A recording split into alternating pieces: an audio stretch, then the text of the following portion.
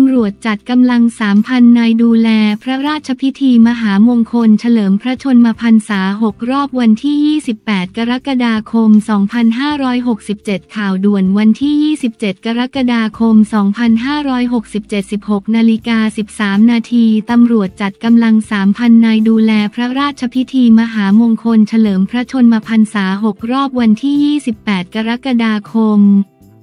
2567 อำนวยความสะดวกแก่ประชาชนที่เข้าร่วมงาน เมื่อเวลา 12 นาฬิกาวันที่ 27 กรกฎาคม 2567 ที่บริเวณท้องสนามหลวงนางสาวจิราพรสิงห์ทุพรรัฐมนตรีประจำสำนักนายกรัฐมนตรี นายสุรพงศ์ปิยโชตรัฐมนตรีช่วยว่าการกระทรวงคมนาคม พลตำรวจเอกไกรบูลสวดทรงเจเรตำรวจแห่งชาติ จตช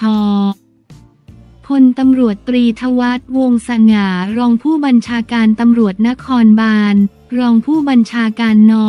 และพลตำรวจตรีสิริวัตรดี พอรองโฆษกสำนักงานตำรวจแห่งชาติ รองโฆษกตร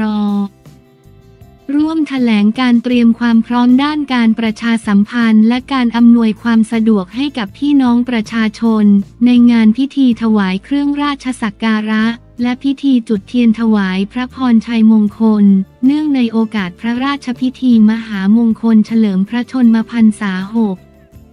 รอบวันที่ 28 กรกฎาคม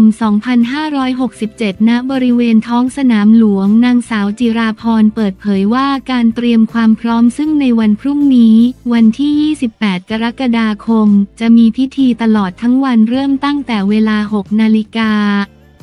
ถึง 19 นาฬิกา 19 นาทีสำหรับความพิเศษของปีนี้คือในวันที่ 28 ถึง 29 กรกฎาคม จะมีการจัดแสดงสาธิตการเหเรือเฉลิมพระเกียรติ แบบผูกทุ่น ซึ่งกองทัพเรือได้รับพระราชทานพระบรมราชานุญาต ให้เชิญเรือพระที่นั่งจำนวนสามลำ ประกอบด้วยเรือพระที่นั่งสุพรรณหงษ์เรือพระที่นั่งนารายทรงสุบรรณ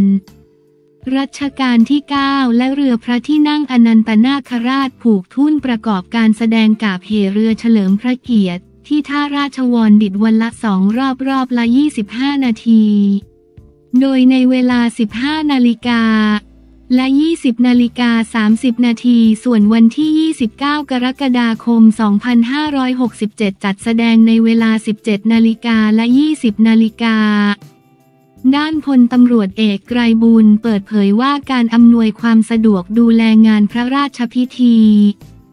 เบื้องต้นเจ้าหน้าที่ตำรวจได้วางกำลังอำนวยความสะดวกตลอดงานพระราชพิธีกว่า 3,000 นาย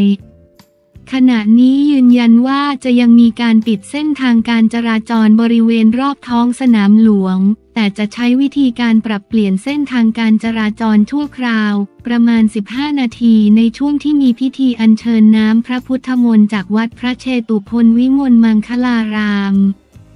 ราชวรมหาวิหารไปยังพระที่นั่งอมรินวินิจฉัย ในพระบรมมหาราชวังพลตำรวจเอกไกรบุญกล่าวต่อว่า ส่วนประชาชนที่สนใจจะเดินทางมาร่วมพระราชพิธีสามารถนำรถส่วนตัวมาจอดได้ที่บริเวณถนนราชินี ด้านหน้าโรงละครแห่งชาติ ลานจอดรถกองสลากเก่า ลานคนเมืองสาลาว่าการกรุงเทพมหานคร และสถานีขนส่งที่สามารถจอดรถได้ เช่น สถานีกลางกรุงเทพอภิวัตสถานีขนส่งหมอชิดสองสถานีขนส่งสายใต้ใหม่ โดยจะมีรถขนส่งคอยรับส่งมาที่บริเวณฟรี ส่วนเรือข้ามฟากสังกัดกรมการขนส่ง และทางด่วนจะมีการเปิดให้บริการฟรี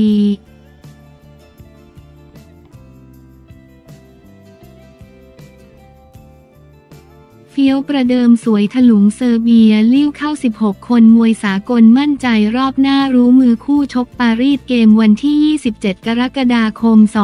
2567 21 นาฬิกา 30 นาทีการแข่งขันมวยสากลโอลิมปิกเกม 2024 ที่นอร์ทปารีสอารีนาที่กรุงปารีสประเทศฝรั่งเศสเมื่อวันที่ 27 กรกฎาคม รอบแรกหรือ 32 คนรุ่น 54 กิโลกรัมหญิง เฟียว จุฑามาศจิตรพงศ์ขึ้นเวทีดวลกับซาร่าเซอร์โควิชจากเซอร์เบีย ผลปรากฏว่าตลอด 3 ยก เฟียว จุฑามาศเป็นฝ่ายไล่ต้อนนักชกเซอร์เบีย และทำอาวุธเข้าเป้าชัดเจนกว่าก่อน ครบยกกรรมการจะยกมือให้ เฟียว ชนะไป 4-1 เสียงผ่านเข้าสู่รอบ 16 คนไปพบกับเบอร์ต้าวิดัดจากโมร็อกโกสำหรับกรรมการหนึ่งเสียงที่ให้นักชกเซอร์เบียชนะคืออาบาลอสมาซิโมจากประเทศฟิลิปปินส์โดยมองว่าเซอร์เบียเหนือกว่าไทยทั้ง 3 ยกหลังจบการแข่งขันจุฑามาศกล่าวว่าวันนี้ตื่นเต้นเพราะชกเป็นคนแรก ซึ่งพอชกคนแรกแรกยังมองทางกรรมการไม่ออกว่าจะตัดสินแบบไหนเลยกังวลเล็กน้อย แต่ก็พยายามทำหน้าที่ตัวเองให้เต็มที่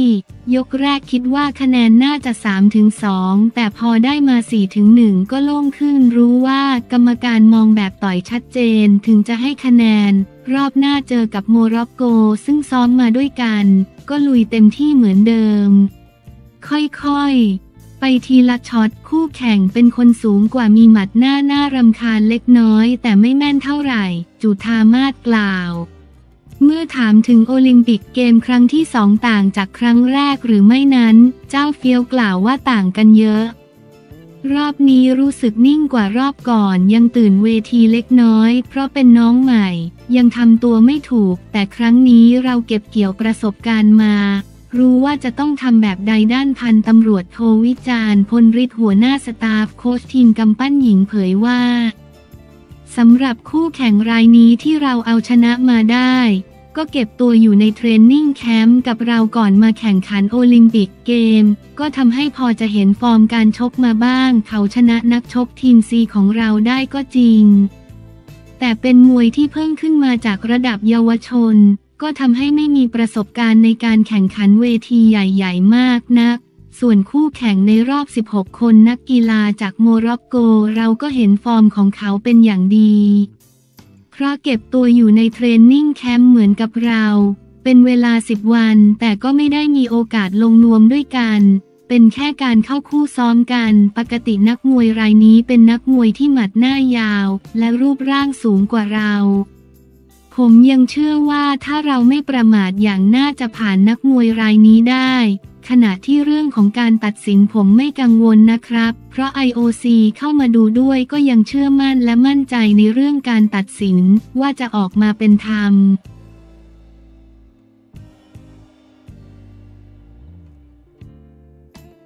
บทบรรณาธิการวุฒิสภาต้องเป็นอิสระประเด็นร้อนวันที่ 27 กรกฎาคม 2567 16นาฬิกา56 นาที รัฐสภาจัดพิธีการรับพระบรมราชโองการโปรดเกล้าโปรดกระหม่อมแต่งตั้งนายมงคล สุรสัจจะประธานวุฒิสภาพลเอกเกรียงไกรศรีรัก และนายบุญส่งน้อยโสพลเป็นรองประธานวุฒิสภา เป็นอันว่าวุฒิสภาชุดใหม่จากการเลือกกันเองและเลือกควายจากได้เริ่มปฏิบัติหน้าที่อย่างเป็นทางการ มีผลสมบูรณ์ตามรัฐธรรมนูญแล้วประธานวุฒิสภายืนยันในปณิธานอันแน่วแน่จะปฏิบัติงานเพื่อทดแทนคุณแผ่นดิน รักษาไว้ซึ่งสถาบันชาติศาสตร์กษัตริย์ รับใช้ประชาชนด้วยความซื่อสัตย์สุจริต ถือเป็นสัญญาประชาคมที่ให้ไว้ต่อประชาชน โดยการปฏิบัติหน้าที่และผลงานตลอดช่วงวาระของวุฒิสภาชุดนี้จะเป็นเครื่องพิสูจน์ต่อไป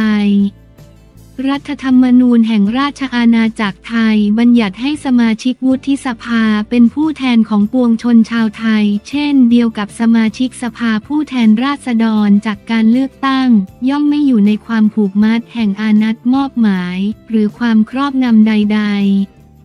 และต้องปฏิบัติหน้าที่ด้วยความซื่อสัตย์สุจริตเพื่อประโยชน์ส่วนรวมของประเทศชาติ และความผาสุกของประชาชนโดยรวม โดยปราศจากการขัดกันแห่งผลประโยชน์ มีหน้าที่และอำนาจพิจารณากฎหมายร่วมกับสภาผู้แทนราษฎรในฐานะรัฐสภา และการกลั่นกรองกฎหมายที่สภาผู้แทนราษฎรได้ลงมติให้ความเห็นชอบแล้ว นอกจากนี้ยังมีอำนาจและหน้าที่อื่นเช่น หน้าที่ให้คำแนะนำในการสรรหาและแต่งตั้งผู้ดำรงตำแหน่งสำคัญต่างๆ ตามที่รัฐธรรมนูญบัญญัติไว้จริงอยู่การได้มา ซึ่งสมาชิกวุฒิสภาชุดนี้ อาจเป็นที่วิพากษ์วิจารณ์อยู่บ้าง เนื่องจากความซับซ้อนซ่อนเงื่อนซึ่งเจตนารมณ์ของผู้ร่างกฎหมายก็คงไม่คิดว่าจะออกมาในรูปแบบนี้ อีกทั้งเมื่อผลการเลือกออกมาก็ปรากฏเป็นกลุ่มก้อนชัดเจน บางจังหวัดมีวุฒิสมาชิกมากกว่า 10 คน แต่หลายจังหวัดกลับไม่มีผู้แทนในสภาสูงเลย แม้แต่คนเดียว ความเป็นกลุ่มก้อนขนาดใหญ่ปรากฏเป็นที่ประจักษ์จากการเลือกประธานและรองประธานวุฒิสภา โดยมีคะแนนเสียงจัดตั้งไปในทิศทางเดียวกันเพื่อขจัดและลบข้อครหาว่าเป็นตัวแทนบางพักการเมือง สมาชิกวุฒิสภาจึงต้องเป็นอิสระ ปฏิบัติหน้าที่โดยไม่อยู่ในความผูกมัดแห่งอานัตมอบหมาย หรือความครอบงำใด ๆ ซึ่งประชาชนจะต้องร่วมกันตรวจสอบอย่างเข้มข้นนับจากนี้